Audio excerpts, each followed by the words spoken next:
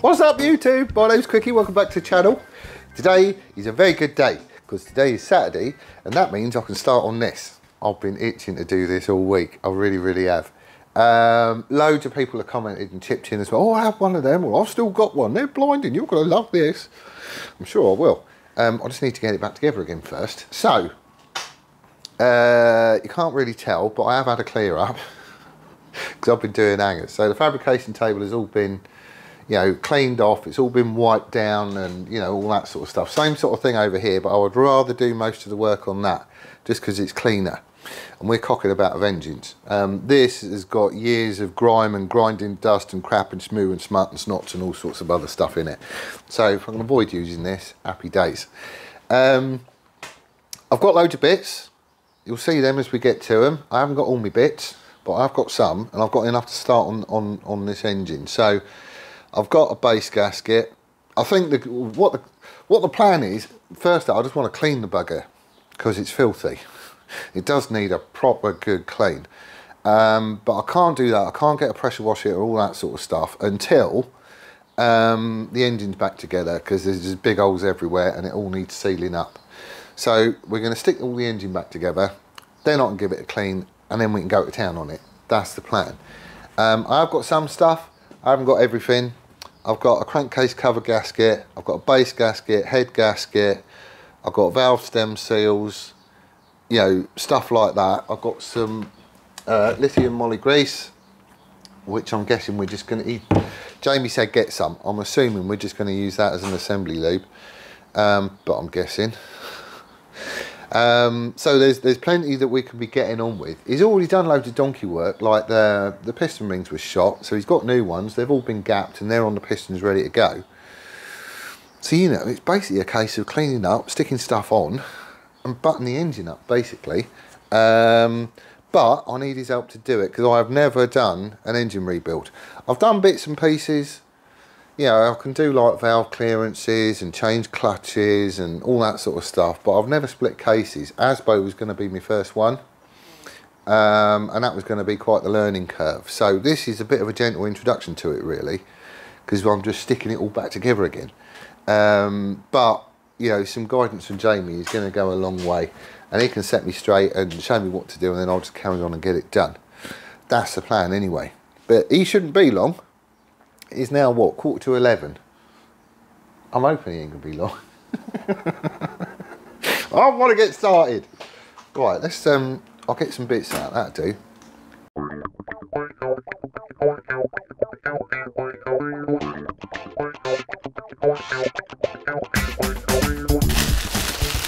Right, so, Jamie's in the house. This is this is the bit where we've got to do full disclosure just in case we do something stupid. So Jamie is a control panels engineer, I want to say. Self-employed now. Yeah. Got your own thing going, which is kind of cool. Um, he's not a mechanic either, but he's been cocking about with engines for how many years? About 15 or something stupid. So you may well find that we do some stuff that the mechanics in the crowd are going to go, oh my God, what are you doing? which, you know, could happen, I don't know. But he's never had an engine let go that didn't have a turbo on it. which you're sort of asking for it then anyway, if I'm honest. Um, so all we're doing to start off with is just cleaning everything. So this is probably going to be a bit of a time lapse whilst we drink coffee, shoot the breeze, and get covered in... Listen to ACDC. Oh yeah, oh yeah. Oh, we need to stick him back on again. Yeah. you can't have beer in ACDC, it's coffee in ACDC. Coffee in ACDC, right. I tried that, um, I've been trying that non-alcoholic bit. What? It's horrible. Well, it would be, there's no booze in it.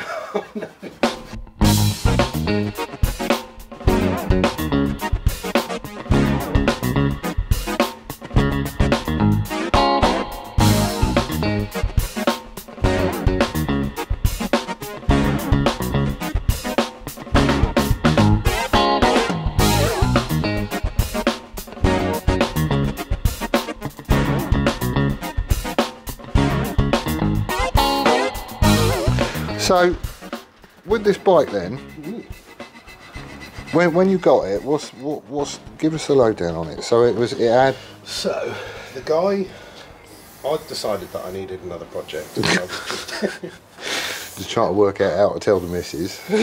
well, so I had, I had five bikes in the garage already. um, however, the Turbo Blackbird was being sold, right. and I decided that I had enough room for another one. Okay. Um, Bandit. Bandit Turbo was almost done. He's a nutter, that bloke. He revs the bejesus out. of it. It should be dead already, and it just end. He Bandit Turbo it. was almost done, Yeah. and I decided I wanted Was that the 1200? Yeah. I brought it here once, didn't I? No. Did I not? No. Um, well, that was almost done. That was going to be my summer ride, Yeah. and I decided I needed something else. Um, the jigsaw hadn't really been touched in a long time. It just wasn't going to be. Yeah. Because I'd cleaned it and taken it back to stock and decided I was going to keep that as an investment. Yeah. Yeah, anyway, I just needed another bike and I found this on eBay down in Cornwall and I bid and I didn't really want to pay more than about 500 quid for it, but Right. it came up Sorry, I got it for a little bit more than that. Um, when I went to get it, the bloke that I bought it from was um, he was terminally ill. Oh no. Yeah. Um, he said he hadn't been on a bike for a long time.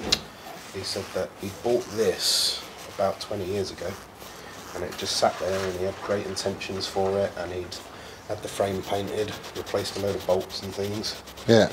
Um, he did get it painted that horrible sparkly Was that him? Was it 90s disco colour. tart sandbag? Yeah. Well, like I said, I grew up in Essex and all the cars were painted like that at one point. every, every man and their dog had a Corsa that colour. um, but he, um, he said, oh, I've got a workshop out the back, it's in there. Right. So I went into this workshop.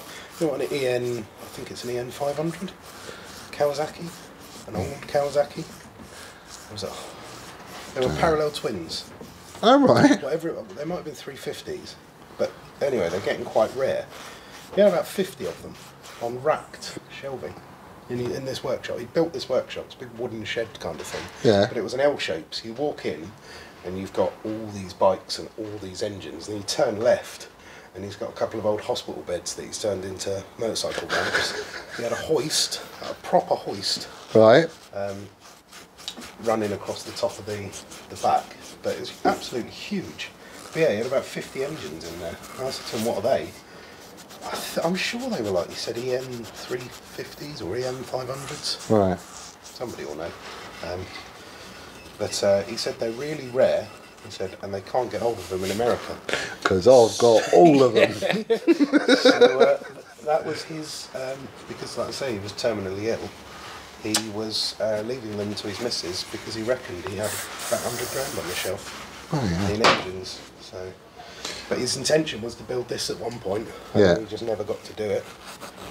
Um, So he, he had it for what he he's had it for about, I think he, he had it something like 20 years or something. So was it on the road in that time, or was it a project for him? He said he'd never had it on the road. So it hadn't done anything in 20 years, and then he sold it to you. Yeah, and I anything with it other than strip it, strip it down. So how long have you had it? That would have been February 2021 last year. So it's then turned a wheel in anger in 21 years, is what we're saying, and then whatever before that. It's done 60,000 miles. Not recently, it ain't. We're going to get it all back together again. You go. No, actually, the gearbox is knackered. I'll tell you what, second gear on this will still outrun most stuff. That's very true, actually. Um, I'd say as well, once we've got all that bit together, just so we don't pull too much apart at once, Yeah. when we've got all that bit together, before we bolt all the clutch plate up, we'll have the plates out and soak them in oil. Yeah, yeah, yeah, I was going to do that anyway. them off with Just a bit of yeah, cleaner. Because if, if it, So it's all been open and stuff, it's like Yeah, yeah. it's just been sat there for a while. Right. So we're doing loads of cleaning. The barrels are actually coming up really, really nice. Really nice. Um, and the game plan is we're going to get the pistons in and the barrels on, base gasket, all that sort of stuff. We can start cleaning up the head. However, we do have a copper brush crisis. Like, we ain't got any. So, some of this, I need to wait for them to turn up. But, what Jamie's saying, we're going to have the fuel pump out the way and the filter just so we get a bit more space. Probably the manifold for the cooling system as well. Just so we've got a little bit more space. You've got to clean all this mating surface up here. Trying very hard not to get anything dropping down the holes. And he came up with something which I didn't even think of. We're going to put the middle pistons on first. yeah, definitely. Because I would have just started at one end and just carried on going. Which you could do if you think about it, because it only comes out one side. But apparently it's just because if you put the outside ones on, it's really hard to get the get the gudgeon pins in the remaining pistons. Depends which side you take them out. Well, yeah. So anyway, we just need to try and make sure that nothing goes down here, basically, don't we? What's that? That dead spiders and stuff. Probably.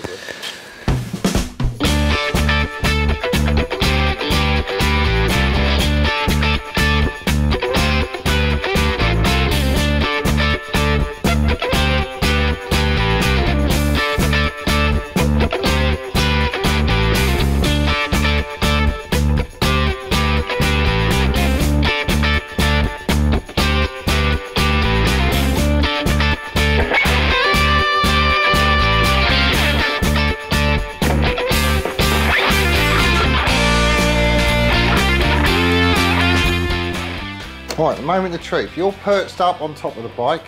You shouldn't fall over because your cable tied, but apparently this is going to be the interesting bit. right, so you want this? The way round that you've got them. so I'll hold these. Cut the cam chain. Tight. Oh, so he's up there. I could just hold that there to be honest. You feed that up through the tunnel. I want a magnet.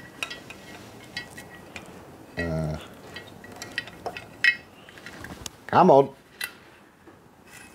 Right, use that? So tie him back up again. Um, I just went through that rubber pipe. and seemed to, oh, that'll do. seemed to hold it.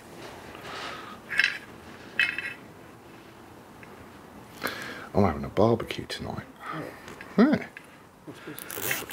monster burgers. He don't need to be dead tight, does he? Just just hold it up out of the way.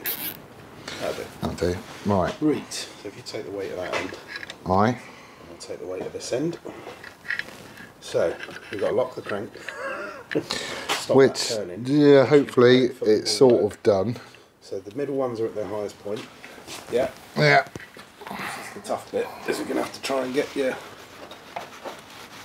ring compressors, compressor rings, with just a little bit showing at the top.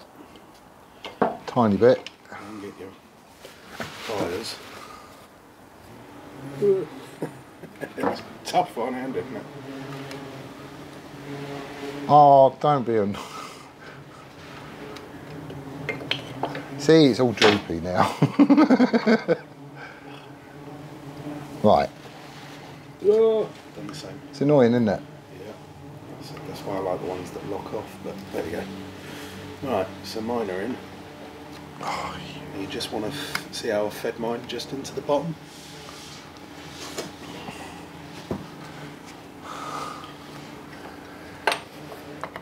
I'll lift the barrels up, we might have a bit more room to work with. Right.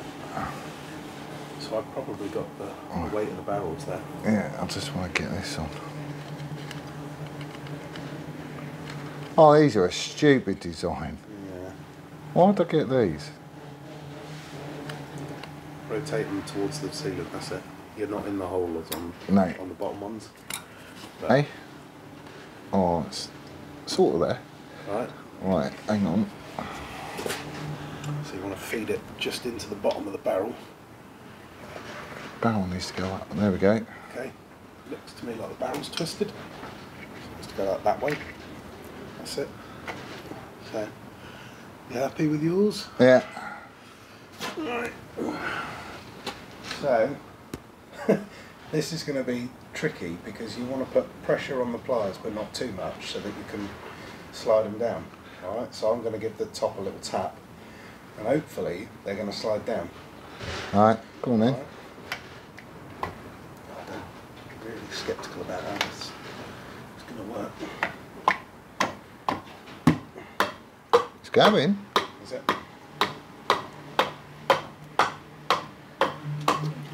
Stop. Make sure we're not doing anything silly. Oh, see, I've slipped off my uh, compressing ring compressor. Bugger.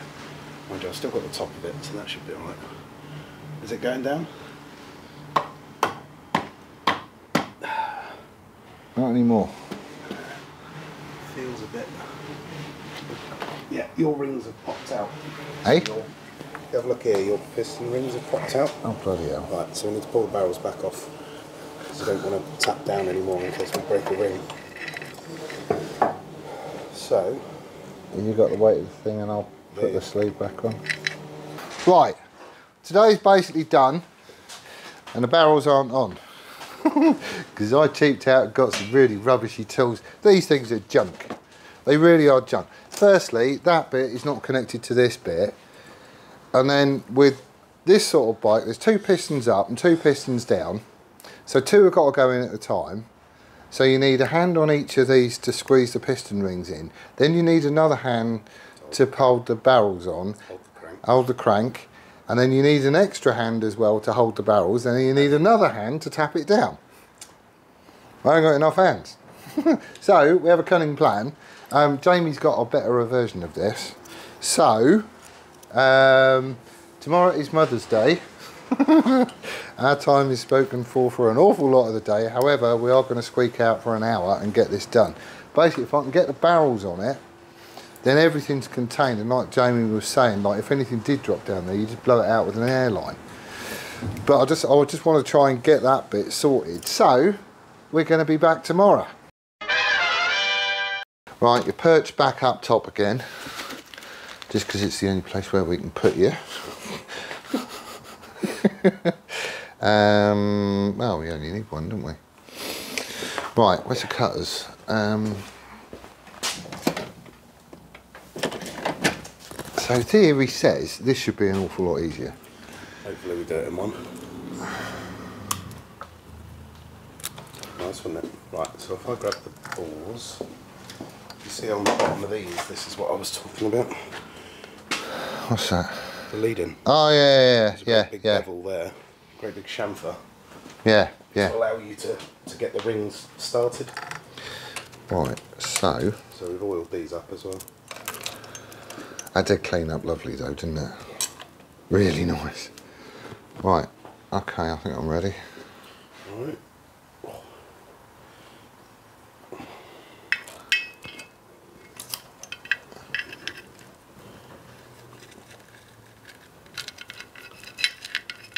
Magnet.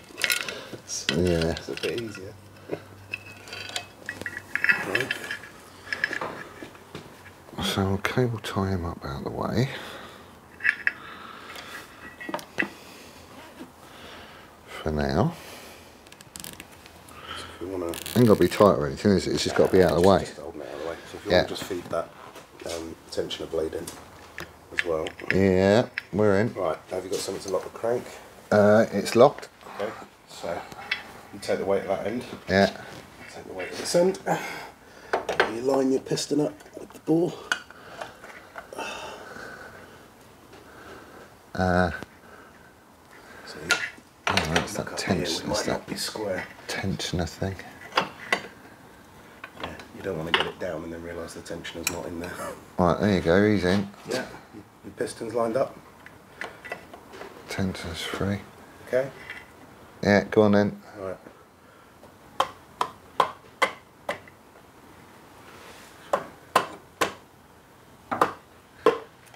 Oh, hang on. Right. If anything, I think the whole bore is twisted, so you need to square him back up. That's it. Ready? yeah.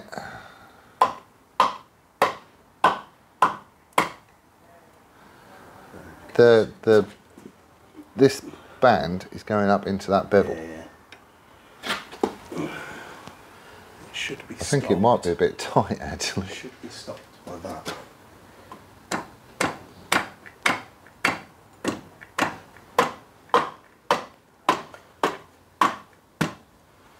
We're we?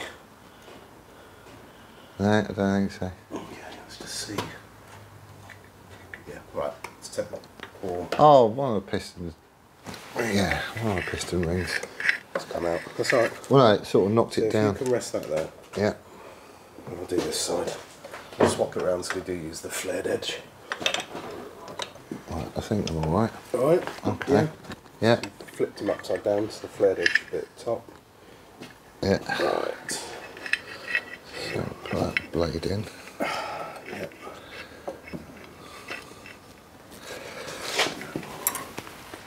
Ring. Ooh.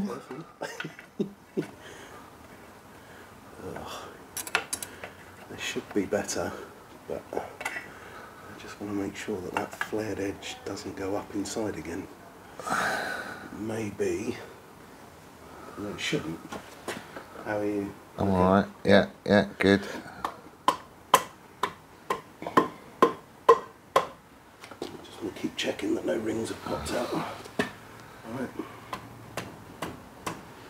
Going. here's going. If you hear a click, I heard one click. yeah, that might have been my side. I don't know if you can investigate. Oh, it's still moving. It's looking good. Just need to keep checking both ends. Holding the crank.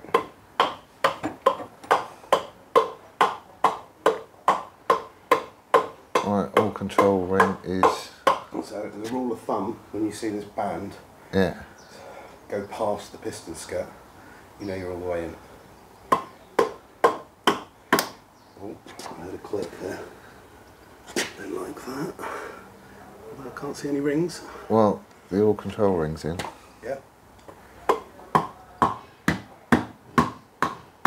Usually hear the difference in sound once it's all the way in. It goes a lot more hollow.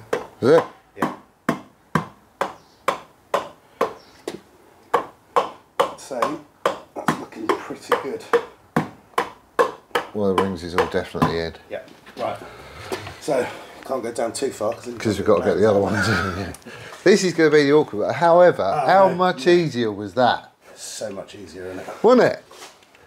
Right. Right, can you just check that blade, the, the tension blade, because there's that little, um, Little what? uh, where the bolt goes through, or the gallery or whatever it is, there's a lump in there on the inside of here. Yeah. Is he on the right side of it? Yeah. Yeah. This tensioner comes in through there, and he's just pushing on that, isn't it? Yeah, but it's sort of hitting that, um, That there. yeah. Pretty sure that's right. You've got to remember this is going to open right out with the cam sprocket. Oh, of course it is, yeah. Yeah. Yeah, yeah, okay. I only have to take it back off again if it's wrong. Um, right, I was just going to rotate that ever so slightly.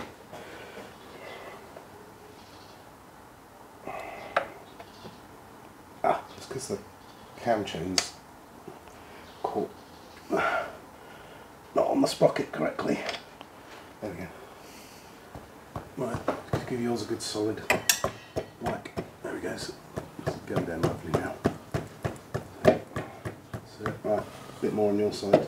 That's it, you square. Tap him over. Uh, just make sure, hang on, hang on. Make Sorry. sure that your gasket on your side goes over that down. Yeah, Just want to pull that down over it so we don't break it. yeah. Alright. and tap him home.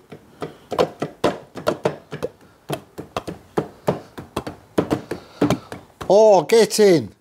We're down.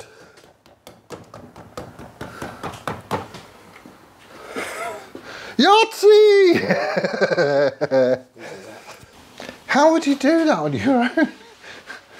Uh, That has got to be the fiddliest bloody thing to- ever. So I tend to, where you've got your uh, breaker bar here, Yeah. I tend to have a hole, like a bit of a jig with a hole in it.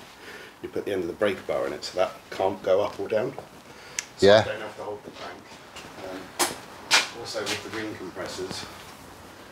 See those them. those ring compressor bands are actually quite big to get under, Yeah. like that last one. Well, you say that. Because then you're sitting on top of a paper gasket and you think You say that, but Uh. actually, once these are in, you lower the whole bore and bring the outside pistons up a bit. So then you've got more room to work with. So these will just slide Yeah. on the bore. Right, so the barrels is actually down. It was a complete and total faff. It's really awkward actually. I would imagine. How long does that take us? 20 minutes? I don't know. It seemed a lot longer. but everything has got to be lined up. I mean, like everything has got to be lined up. 'Cause it's like paper gasket, and then you've got a couple of dowels, so you don't want to be punching extra holes in it. And it's like trying to get both sides down together evenly with no rings popping out or anything else. It just really is ginger little taps, isn't it? It really, really is. It doesn't take a lot. If you've got to hit it with a hammer, then something's wrong. No, it's just like heel of your hand, sort of just literally knocking it. a bit. But it's down. It's down. So what's the game plan now? We're gonna. I was just going to take that cam chain off. So take that plate off. Yeah. take the well. I'm pretty certain there's a, a, a key in there, so you can't put it on wrong anyway. But we could just mark it out with a bit of Tipp-Ex. You want an impact gun? We ain't used that yet. You've got to hold the plate while you undo that Allen bolt, and I was looking for a 21 mil spanner, which I don't think you've got, have you? So you might want to just keep the Yeah. pressure down on the bores so they don't pop up.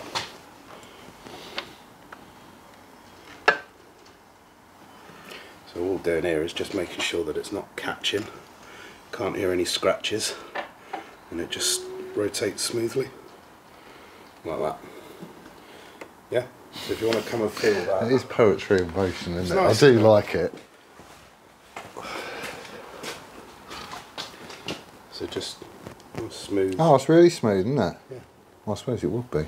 So all we're doing then is if we get, well, either pick, pick any two, get them right to the bottom.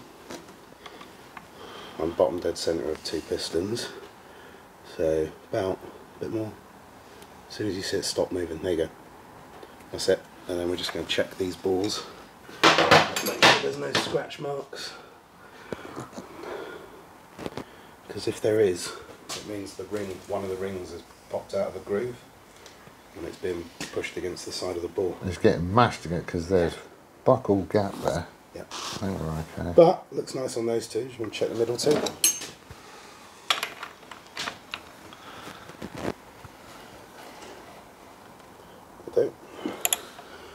All looks good there. Get on. Just your finger around it, I suppose, just to make sure. Yeah. So I'd leave just a little bit of oil in these anyway, Yeah. just to help them lube up a bit. Right. Quick tidy. That's all I'll do. right, so we have um, everything's back on again. We have just had this um, timing plate off. That is a timing plate, isn't it? Um, and we've had the cam chain out. We turned it over by hand, checked all the bores to make sure there's no scoring and all that sort of stuff. So, and we is all looking quite good.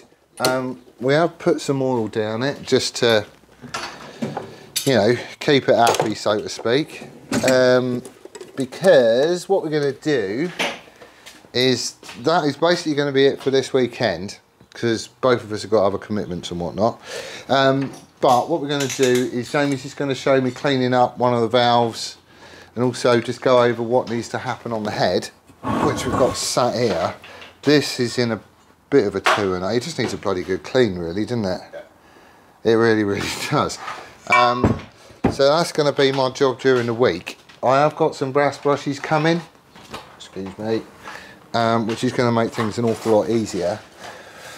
But that'll be the next bit. So hopefully next weekend it'll be head on, valves in, blah de blah de blah, whatever.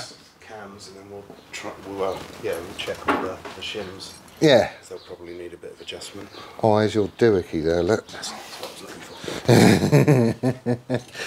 But we're starting to get the engine buttoned up, which is lovely. And it's all going together nice and clean and stuff as well, which is awesome. We're basically calling it a day here. Um, we've got essentially all the bores is back on, it's all down, nothing's bolted down, it's just sort of in situ. It's had oil squirted in various orifices and rubbed all over it and stuff, and then we've just, this is just pallet wrap, it's like industrial cling film basically. So that's all good. So that is basically where we're going to leave it today before he disappears though, he is going to go over what he wants me to do with the head. So we've got, um, what is there, uh, all the valves need cleaning up, don't they? Yeah. And there is one new one in there. Um, he's just going to show me how he does it, and then I'll just do that during the week. And then everything on the head, like all the mating surfaces and all that sort of stuff, all needs cleaning up. Um, I've got some brass brushes coming. I've got a manual coming. Um, there isn't any point in getting any engine assembly lube we was chatting about because it's, it's going straight together and getting run and Just- it's just getting oil all over it as it goes anyway, isn't it? Well, just yeah, just maybe midweek, just squirt a little bit more down the bores. Yeah, yeah, yeah. that'll be all right. And then we is getting really, really close. So next weekend, Jamie's going to come back again. We're going to try and get the head on and get all that stuff sorted. Um, we've got the shims and all that other stuff. So the top end should get buttoned up. And next week as well, I should be getting the carb service kit. So I can shove all that lot through the ultrasonic and just do the basic service on and replace all the consumables. And, and we're actually getting reasonably, probably like a couple of weeks, we should we should be able to start it. It's a good goal to have, isn't it, for next week? I reckon. Is to have head on, cams in, time it up, Yeah, and then we'll do a shim check yeah, because then. Yeah, because obviously we've got reshimming, diff- yeah. Pop down to, to GTs and swap them over. yeah, yeah, yeah. We'll get that done. But like you say, we need to know where we are. Yeah. Start off with basically. So anyway, that's it. That's how we spent our weekend. and a very good weekend it was too. I'm loving all this. But anyway, um, there will be some pictures and stuff come up so you can see what it was like before and what it's like now and all that sort of. The difference is remarkable, I have to say. Like, and most of it is just cleaning the shiznick out of stuff. But, you know, if you're putting an engine back together again, why wouldn't you? Anyway, that's where we're leaving it for this one. Thank you ever so much for watching. Do hope you're well and staying safe. We'll see you on the next one. Adios.